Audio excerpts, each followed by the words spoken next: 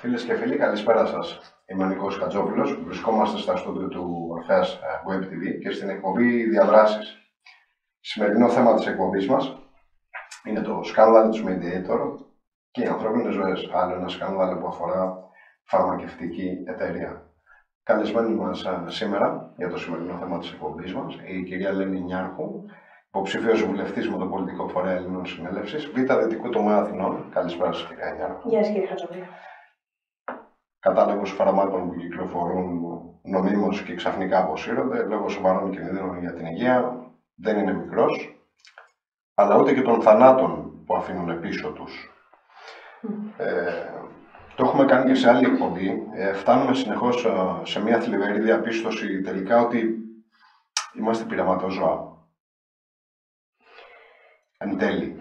Πραγματικά είναι μια απορία που ως καταναλωτές, ως ασθενείς που ψάχνουμε να βρούμε τρόπους για την ίασή μας, μας απασχολεί όλους. Βέβαια στο συγκεκριμένο σκάνδαλο ε, με την φαρμακευτική εταιρεία Server, είναι γαλλική, ε, για αφορά το, το φάρμακο Mediator, το κατά πόσο είμαστε τελικά πειραματόζωα δεν ξέρω γιατί ουσιαστικά αυτή η εταιρεία όπως ε, λένε όλα τα, ε, τα άρθρα που είναι στο διαδίκτυο σχετικά με την εταιρεία αυτή ε, εγώ έχω πάρει τα στοιχεία από την αυτεπορική ο τίτλος είναι «Καταδικάστηκε για απάτη». Άρα κατά πόσο τελικά είμαστε υπερματόζωα ή απλά είμαστε το μέσο για να κερδίζουν κάποιοι, είναι λεπτές γραμμές αυτές. Ναι, εδώ όμως έχουμε να κάνουμε και με ανθρώπινες ζωές. Έχουμε να κάνουμε με θύματα, πραγματικά. Άρα λοιπόν η απάτη είναι ως προς τι; Απάτη επειδή γνωρίζανε από πριν, από πολύ καιρό πριν σταματήσει και να κυκλοφορεί το φάρμακο αυτό, γνωρίζανε ε, κάποιες παρενέργειες που είχε, είχαν ενδείξεις, είχαν ε, γεγονότα που είχαν καταγραφεί με ανθρώπους που χρησιμοποιούσαν το φάρμακο αυτό και είχαν τις παρενέργειες αυτές και δεν το δημοσίευσαν, δεν το προχώρησαν για να δούμε τι μπορεί να γίνει με ένα φάρμακο που ήδη κυκλοφορεί. Σε ένα βάθος χρόνου πάλι να υποθέσω. 33 χρόνια ε, κυκλοφορούσε το φάρμακο αυτό, από το 1976 και μετά.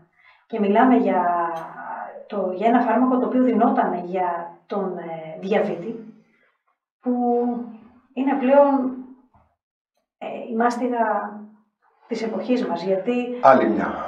Με όλα αυτά τις παρεμβάσεις και τις παρεμβολές μέσω της διατροφής αλλά και όλων των υπόλοιπων ε, που συνθέτουν το ανθρώπινο, τον ανθρώπινο οργανισμό συντελούν στο να έχουν όλο και περισσότεροι άνθρωποι διαβήτης στις μέρες μας και τα ποσοστά σχεδόν 2% όπως διάβασα κάθε χρόνο αυξάνονται. Άρα μιλάμε ότι απευθύνθηκε σε πάρα πολύ κόσμο και φυσικά ε, γι' αυτό το λόγο αυτό που, ε, που λένε εδώ παντού είναι ότι προκάλεσε ε, 2.100 θανάτους, οι οποίοι ήταν διαπιστωμένοι όταν το φάρμακο. Τώρα πόσες άλλες ε, παρενέργειες υπήρχαν που δεν μπορούσαν να φανούν ακριβώς όταν ήταν το φάρμακο, αλλά συνδέονται όμως μακροπρόθεσμα με αυτό, αυτό είναι κάτι το οποίο δεν μπορεί κανείς να το δει. Επιβλήθηκε κάποιο πρόστιμο; Στη συγκεκριμένη εταιρεία. Ναι, έγινε δικαστήριο και καταδικάστηκε η εταιρεία για απάτη. Ε, και στην, ε, στην εταιρεία ε, απαιτήθηκε η καταβολή προστίμου 2,7 εκατομμυρίων. Όμως, αυτό που έχει μεγαλύτερη σημασία είναι ότι ε, αυτή η εταιρεία ε, διοικείται από κάποιους ανθρώπους. Ε, αυτός που καταδικάστηκε ήταν ο υποδιευθυντής και αντιπρόεδρος της φαρμακευτικής εταιρείας, ο Ζαν Φιλίπ Σετά, αλλά το πολύ ενδιαφέρον είναι σε τι καταδικάστηκε. Σε τέσσερα χρόνια με αναστολή. Και γνωρίζουμε όλοι ότι με αναστολή είναι κάποιος έξω. Και απλά εάν προκύψει κάτι για το ίδιο θέμα ή παρόμοια υπόθεση και καταδικαστεί, θα εκτίσει και τις δύο ποινές, και αυτή που είναι σε αναστολή και αυτή που τρέχει. Αυτή ήταν για τους 2.100 θανάτους που γνωρίζαν από πριν μάλλον ότι θα συμβούν γιατί είχαν και τις ενδείξεις. Ε, μιλάμε ότι η δικαιοσύνη πραγματικά της Γαλλίας διέπεψε σε αυτό το σημείο και ένας άνθρωπος και μια φαρμακευτική εταιρεία που έχει κερδίσει τόσα μα τόσα πολλά ε, στις πλάτες όλων των ανθρώπων που χάσαν τις ζωές τους και των ανθρώπων που χάσαν τους ανθρώπους τους Νομίζω ότι είναι πραγματικά αστείο να το συζητάμε. Ανεξάρτητα από το μέγεθος του, του πρόστιμου που επιβλήθηκε στη συγκεκριμένη εταιρεία, έχουν φέρει ποτέ τα προστήματα πίσω ανθρώπινες ζωές χαμένες; Όχι φυσικά. Ε, η επανόρθωση δεν μπορεί να συμβεί με το να βάλεις σε μια εταιρεία πρόστιμο. Η επανόρθωση μπορεί να συμβεί αν αυτό που συμβαίνει στον πλανήτη μας μας γίνει μάθημα για να μην ξαναεπαναληφθεί και να λειτουργούμε προληπτικά. Να παίρνουμε δηλαδή τα μέτρα τα απαραίτητα ώστε να μην γίνεται αυτό. Για τη συγκεκριμένη περίπτωση που μιλάμε ε, και για οποιαδήποτε άλλη περίπτωση που έχει να κάνει με φάρμακο, φυσικά τον ε, λόγο τον έχει κυρίως ε, ο οργανισμός φαρμάκων της εκάστοτε χώρας, φυσικά και ο Ευρωπαϊκός Οργανισμός Φαρμάκων και φυσικά και ο Παγκόσμιος Οργανισμός Φαρμάκων. Μιλάμε για τρεις λοιπόν οργανισμούς που μπορούν, έχουν τη δυνατότητα να ελέγξουν και να προφυλάξουν τους πολίτες, τους αρρώστους πολίτες ε, που χρησιμοποιούν αυτά τα φάρμακα για να μην έχουμε αυτά τα αποτελέσματα. Δεν λειτουργήσε τίποτα από αυτά και γι' αυτό το λόγο κιόλας ε, ουσιαστικά ε, η, η Εθνική Υπηρεσία Ασφάλειας Φαρμάκων της Γαλλίας καταδικάστηκες σε πρόστιμο 303.000 ευρώ για παράληψη καθήκοντος. Ε, και μιλάμε τώρα, η δικαιοσύνη είναι του Δημοσίου, η Εθνική Υπηρεσία Ασφάλειας Φαρμάκων είναι πάλι του Δημοσίου, πρόστιμο, το πρόστιμο δεν σημαίνει ότι δόθηκαν κάποια λεφτά σε αυτούς που έπαθαν κάτι από τη χρήση του φαρμάκου. Λέμε πρόστιμο επειδή δεν έκανες ορθά την εργασία την οποία έπρεπε να κάνεις. Και άμα είναι και τα δύο του δημοσίου, δηλαδή φύγανε από τη μία τσέπη και πήγανε στην άλλη, δεν μπορώ να καταλάβω αυτό πώς μπορεί να βοηθήσει πραγματικά σε κάτι τόσο σοβαρό που έχει προκαλέσει ε, η μη λειτουργία ενός οργανισμού. Να πάμε σε μια άλλη ερώτηση. Οι επιβολές των προστήμων έχουν φέρει κάποιο αποτέλεσμα; Γιατί εδώ μιλάμε για συμβάντα τα οποία γίνονται κατά σειρά, κατά ξεκολουθήσουν μέσα σε βάθος χρόνου και από πολλές εταιρείες. Σήμερα καταπιανόμαστε με τη συγκεκριμένη, ας πούμε. Υπήρξε αποτέλεσμα ποτέ από την επιβολή των προστήμων. Το αποτέλεσμα από την επιβολή των προστήμων όχι μόνο όσον αφορά τα, τρόφι, τα, τα φάρμακα, αλλά και τα τρόφιμα και το οτιδήποτε κυκλοφορεί. Ε, φυσικά το μόνο που κάνει είναι να ενισχύει την εταιρεία την οποία έχει εμπλακεί σε αυτό το συγκεκριμένο σκάνδαλο και να της δίνει τη δυνατότητα να προχωρήσει και να κάνει και άλλα. Γιατί σίγουρα τα πρόστιμα που βάζουν ε, στις εταιρείες αυτές σε σχέση με το πόσο κέρδος έχουν βγάλει από όλα αυτά τα σκάνδαλα που έχουν δημιουργηθεί είναι τόσο μικρό που πραγματικά το μόνο που σου δίνει είναι ένα ένασμα για να το ξανακάνεις. Που για τέτοιες μεγάλες περιπτώσεις που έχουν να κάνουν με την ανθρώπινη υγεία, γιατί είναι αρκετά τα επαγγέλματα που έχουν να κάνουν με την ανθρώπινη υγεία και θα έπρεπε να είμαστε πολύ πιο προσεκτικοί, θα έπρεπε να ήταν το λιγότερο η αφαίρεση της άδειας. Το λιγότερο. Γιατί ειδικά όταν υπάρχει κάτι επαναλαμβανόμενο και ένα τέτοιο ιστορικό δεν καταγράφεται για να πάρθει μια τέτοια απόφαση, δυστυχώς. Άρα βλέπουμε τους πολίτες, τους ασθενείς να μην έχουν καμία ασφάλεια σε αυτό το θέμα και αν τελικά δεν φύγεις από την πάθηση την οποία έχεις, έχεις μεγάλες πιθανότητες να φύγεις από το φάρμακο που χρησιμοποιείς για να γίνεις καλά. Μάλιστα. Ένα σκευάσμα που παίρνουμε για να έχουμε θεωρητικά υγεία, αλλά που πρακτικά όμως μπορεί να μας οδηγήσει και στο θάνατο. Ακριβώς. Σε αυτό το σημείο να κάνουμε μια μικρή διακοπή, κυρία Νιάρχο. Ε, ένα μικρό διάλειμμα για πολύ λίγο και σε λίγο πάλι κοντά σας. Ήρθε η ώρα της αναγνώρισης. Ο Ελάνιος Κόσμος 600, πρώτη έκδοση. Ο ιερός κωδικός αριθμός και η δομή, η σύσταση του κόσμου 600. Το μοναδικό βιβλίο βιωματικής ανάλυσης που έχει γραφτεί για την ανθρωπότητα, για να καλύψει και να απαντήσει όλα τα κενά και τα ερωτήματα για τη δημιουργία του κόσμου. Τώρα ήρθε η ώρα. Ορίμασε ο καιρός να εμφανιστεί η ανάλυση και η διάσπαση του ελάνιου κόσμου 600, Αρτέμις Ώρας. Ένα βιβλίο μοίησης και αναγνώρισης της αλήθειας, γραμμένο κάτω από συνθήκες ομοιρίας του ίδιου του δημιουργού, 13 Δεκεμβρίου 2010 Όλοι μπορούν να αναγνωρίσουν το μεγαλείο του κόσμου τους ως μοναδικό, αληθινό, δικό τους μεγαλείο, Αρτέμις Ώρας. Κάνε την παραγγελία σου τώρα και πάρε στα χέρια σου το βιβλίο «Ο Ελάνιος Κόσμος 600» με το δικό σου μικρότερο αριθμό σειράς που είναι μοναδικός από την πρώτη έκδοση. Παρήγγειλέ το στο www.κοσμοθέαση.com Φίλες και φίλοι, πάλι εδώ κοντά σας, στην εκπομπή Διαδράσεις. Να συνεχίσουμε τη κουβέντα μας με την κυρία Νιάρχου. Κυρία Νιάρχου, ποιες είναι οι σχέσεις της πολιτείας γενικά με τις φαρμακευτικές εταιρείες; Πρώτα απ' όλα να πούμε ότι η... τα κράτη και οι κυβερνήσεις ε, είναι πάνω από τον οποιοδήποτε οργανισμό ελέγχου φαρμάκων της εκάστοτε, του εκάστοτε, της εκάστοτε χώρας. Άρα ουσιαστικά, εάν κάποιος δεν εκτελεί ορθά, θα πρέπει να το δει και να το αλλάξει, να βρει έναν τρόπο, οτιδήποτε είναι δικό του παρακλάδι. Ε, άρα είναι τεράστια η ευθύνη που φέρει η πολιτεία γι' αυτό. Ε, άλλωστε μια πολιτεία έτσι κι αλλιώς είναι υπεύθυνη για την υγεία των πολιτών της, πόσο μάλλον όταν αυτή ε, απειλείται από ένα σκεύασμα που φτιάχνει κάποιος άλλος για και πρέπει να το πάρει. Δεν είναι δηλαδή κάτι το οποίο ο ίδιος ο άνθρωπος το προκαλεί. Πρέπει να πάρει ένα φάρμακο. Και το φάρμακο αυτό δεν το παίρνει από μόνος του, του συνταγογραφεί ένας γιατρός. Άρα μιλάμε εδώ ότι είμαστε μετέωροι ως ασθενείς, γιατί πηγαίνουμε με ένα πρόβλημα υγείας που έχουμε, ε, μας συνταγογραφούν ένα φάρμακο, το οποίο γνωρίζουμε ότι αυτό έχει ελεγχθεί, έχει περάσει όλους τους ελέγχους και γνωρίζουμε ότι και ακόμα κάτι να συμβεί στην πορεία του. Είναι εκεί ο κρατικός μηχανισμός μέσα από το, τη διαδικασία του οργανισμού φαρμάκων που θα το ελέγξει. Γιατί ο Οργανισμός Φαρμάκων της Ελλάδας ε, είναι υπεύθυνο και για ό,τι έρχεται από το εξωτερικό. Εισαγωγή δηλαδή, έτοιμο σκεύασμα. Δεν είναι απαραίτητα να ελέγχει μόνο οτιδήποτε για την παραγωγή εδώ πέρα. Μιλάμε ότι και στην Ελλάδα κυκλοφορούσε αυτό το φάρμακο. Και υπήρχαν θάνατοι και εδώ, στη χώρα μας.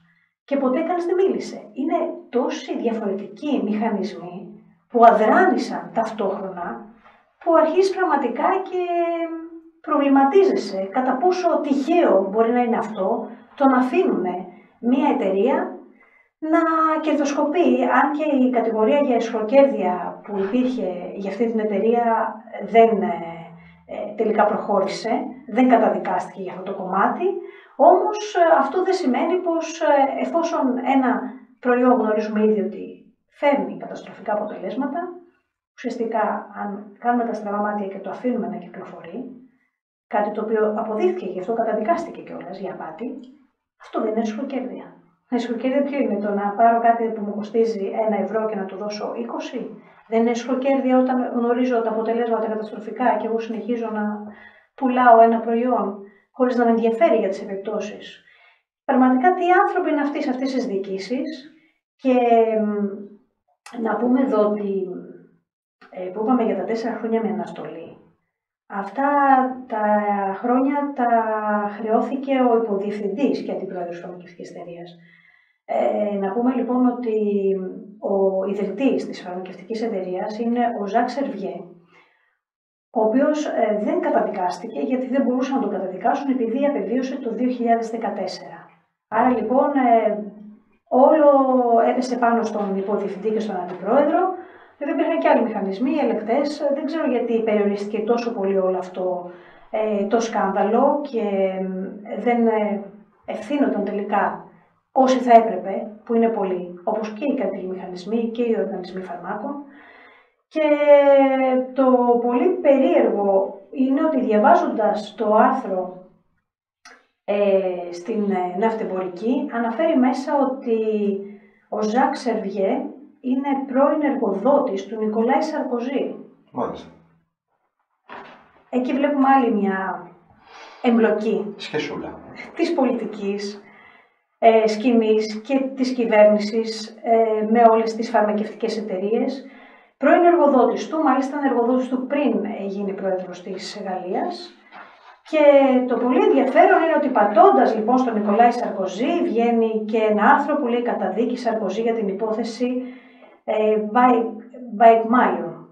Λοιπόν, αυτή ήταν μια υπόθεση για χρήματα, τα οποία είχαν γίνει ε, είχαν κατατεθεί στο λογαριασμό του πριν την προεκλογική του εκστρατεία. Υπήρχε εκεί πέρα κάποια εσχροκέρδια, κάποια κακή διαχείριση. Εκείνος είπε ότι δεν το γνώριζε αυτό. Παρ' όλα αυτά, όντως καταδικάστηκε και ο δεύτερος πρόεδρος που καταδικάστηκε στη Γαλλία.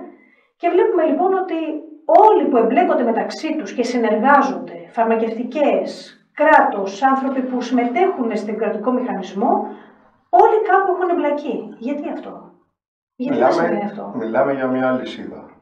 Για μια λυσίδα πραγματικά και δεν μπορώ να καταλάβω οι άνθρωποι πραγματικά που ε, εμπλέκονται σε σκάνδαλα γενικότερα, τι ήθος έχουν για να μπορούν τελικά να δώσουν την έγκριση σε κάτι να κυκλοφορεί, αφού εμπλέκονται σε αυτούς τους κρατικούς μηχανισμούς,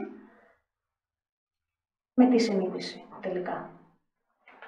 Υπάρχει επιτέλους η δυνατότητα εξάλληψης των ανθρωποκτονιών εξαμελίας από το φαρμακευτικά τραστ; Το εξαμελίας, το σημειώνω κιόλας για να το θυμάμαι. Έτσι ορίζεται όμως. Ναι, έτσι ορίζεται όμως όντως, αλλά... Ελαφρά την καρδία. Και μιλάμε για ανθρώπινες ζωές, έτσι. Ότι τελικά εμείς οι άνθρωποι, οι πολίτες, δεν έχουμε πρόσβαση στους ελεκτικούς μηχανισμούς για να τους ελέγξουμε και εμείς ίδιοι και να δούμε τελικά αν όντως πράττουν τη δουλειά τους ορθά. Ε, ειδικά εδώ στην Ελλάδα, σε πολλές εκπομπές το έχω αναφέρει με την δημιουργία της Ανεξάρτητης Αρχής Δημοσίων Εσόδων, την ΑΕΔΕ, που κάτω από αυτήν είναι αρκετές αρμοδιότητες πλέον, όπως το χημείο του κράτους, και η ΑΕΔΕ δεν υπόκειται σε κανέναν έλεγχο, γιατί αυτό ακριβώς λέει το ΦΕΚ, ότι δεν έχει δικαίωμα κανένας κρατικός μηχανισμός να την ελέγξει, παρά μόνο συμβουλευτικά να λειτουργήσουν μεταξύ τους αυτές οι δύο πλευρές. Τελικά δεν θα μάθουμε ποτέ αν αυτή η θάνατη είναι εξαμελίας ή αν είναι υπό κάποιες συγκεκριμένες συνθήκες και με πολύ σωστό προγραμματισμό. Ο μόνος τρόπος λοιπόν για να φύγει αυτό και να μάθουμε και να αποδοθούν ευθύνες κάποια στιγμή, αλλά και για να μην ξανασυμβεί, είναι μονάχα αν αυτός ο κρατικός μηχανισμός ελέγχεται από όλους τους Έλληνες πολίτες. Και αυτό μπορεί να γίνει μόνο σε, ένα, σε μια δημοκρατία, και δεν θα πω δημοκρατικό πολίτευμα, γιατί η δημοκρατία πραγματικά δεν είναι πολίτευμα, είναι η εκτελεστική εξουσία η οποία οφείλει να εκτελέσει τις αποφάσεις που παίρνουν οι πολλοί. Και φυσικά οι πολλοί, επειδή αυτοί παίρνουν τις αποφάσεις, ελέγχουν και ανακτελούνται. Και ανακτελούνται και ορθά. Μόνο σε αυτή την βάση στην ορθή βάση της δημοκρατίας θα μπορέσουν όλα αυτά τα φαινόμενα να εξαλειφθούν. Δεν μπορεί να υπάρχει κάποιος άλλος τρόπος, όταν αφήνουμε άλλους να διαχειρίζονται τις ζωές μας και να μην τους ελέγχει κανείς και να μην έχουν το άγχος ότι θα ελεγχθούν ποτέ, και όπως είπαμε, με τη συνείδηση και να περιμένουμε μόνο με τη συνείδησή τους ε, να κάνουν το ορθό ή όχι και να μην υπόκειται σε κανέναν έλεγχο, αυτό πρέπει να σταματήσει ε, όχι αυτή τη στιγμή, ήδη να έχει σταματήσει, γιατί πραγματικά κάθε μέρα που περνάει χάνουμε αδέρφια μας από τέτοιες υποθέσεις και θα πρέπει επιτέλους ο κρατικός μηχανισμός να λειτουργήσει και ο κρατικός μηχανισμός, κύριε Χατζόπουλου, είμαστε εμείς οι ίδιοι πολίτες. Μόνο εμείς όταν ενεργοποιηθούμε και πάρουμε τις θέσεις στους κρατικούς, στις κρατικές μηχανές, θα μπορέσουμε να το σταματήσουμε. Άρα μπορούμε να ονειρευτούμε μια πολιτεία ανθρώπων και όχι καταναλωτών με σηριακό αριθμό. Μπορώ να πω ότι και εγώ είμαι ένας από αυτούς που έλεγα ότι έτσι όπως πάνε τα πράγματα δεν μπορούμε να ονειρευόμαστε. Όμως ε, τα τελευταία χρόνια έχει κάνει την εμφάνισή της η Ελλήνων Συνέλευσης, ο πολιτικός φορέας των Ελλήνων, ο οποίος πραγματικά αυτό που θέλει είναι να εγκαθιδρύσει τη δημοκρατία που προανάφερα. Άρα λοιπόν ξέρουμε ότι υπάρχει πλατφόρμα αυτή που μπορεί να το κάνει και τα δείγματα τα έχουμε ήδη, επειδή όλοι όσοι συμμετέχουμε στην Ελληνοσυνέλευση εκπαιδευόμαστε γι' αυτό, μιλάμε γι' αυτό, ενημερωνόμαστε γι' αυτό. Είναι μια πλατφόρμα που την έχει στήσει ο πρόεδρος της Ελληνοσυνέλευσης, ο Αρτέμισος Σόρας, πραγματικά στην ακρίβεια για το πώς όλα θα δομηθούν την επόμενη μέρα που θα αναλάβουμε τη διακυβέρνηση της χώρας. Και εμείς ως πολίτες το μόνο που έχουμε να σκεφτούμε είναι αν θέλουμε να ζήσουμε το όνειρο αυτό, να ξυπνήσουμε από την λύθη την οποία είμαστε, αυτή που μας ε, βάζουν συνέχεια μέσα με όλα τα κόλπα θα έλεγα εγώ, ε, που μας βάζουν όλα τα προβλήματα της καθημερινότητας και δεν προλαβαίνουμε να σκεφτούμε, θα πρέπει να τα αφήσουμε λίγο στην άκρη, να βγούμε λοιπόν από αυτή τη λύθη και να ονειρευτούμε την επόμενη μέρα, γιατί τώρα ξέρουμε και τον τρόπο, όπως είναι αποτυπωμένος στις προγραμματικές δηλώσεις της Ελληνοσυνέλευσης και αφού ξέρουμε τον τρόπο και έχουμε φυσικά και τα χρήματα, γιατί υπάρχουν χρήματα, τα 600 δις που έχει καταθέσει ο Αρτέμις Ώρας, υπέρ της ελληνικής κυριαρχικής δημοκρατίας και 2,33 για έργα, δημόσια έργα, όπου χρειαστεί και όπου υπάρχει ανάγκη, σε οποιοδήποτε τομέα, κάνουμε μια επανεκκίνηση. Οτιδήποτε υπάρχει μέχρι τώρα στα χέρια άλλων, όπως είναι οι φάρμακοβιομηχανίες έχονται στα χέρια του κράτους, έχονται στα χέρια τα δικά μας, είναι δημόσια, ελεγχόμενα, φυσικά τεράστια ανάπτυξη στην Ελλάδα της φαρμακοβιομηχανίας θα γίνει, χρησιμοποιώντας τα βότανά μας και οτιδήποτε είναι επιβαρυντικό για τον άνθρωπο, χημικό ή έχει παρενέργειες δεν θα υπάρχει καν, γιατί θέλουμε τον άνθρωπο στην ορθή του φυσιολογία, για να είναι υγιής και ενεργός πολίτης. Και έτσι να λειτουργήσουν όλα, και η πολιτεία και το ατομικό επίπεδο. Άρα μπορούμε να ονειρευτούμε, γιατί το όνειρο είναι ο πρόδρομος να το βιώσουμε. Ακριβώς αυτό. Ό,τι κάνουμε σήμερα, πράξη, είναι αύριο το μέλλον μας. Κυρία Νιάρχο, σας ευχαριστώ πάρα πολύ για την παρουσία σας σήμερα εδώ. Και εγώ σας ευχαριστώ για το καλέσμα. Θα τα πούμε και σε κάποια επόμενη εκπομπή. Ευχαριστώ. Φίλες και φίλοι, φτάσαμε στο τέλος και της σημερινής μας εκπομπής από τον Νίκο Χατζόπουλο για την εκπομπή Διαδράσεις. Καλό σας βράδυ.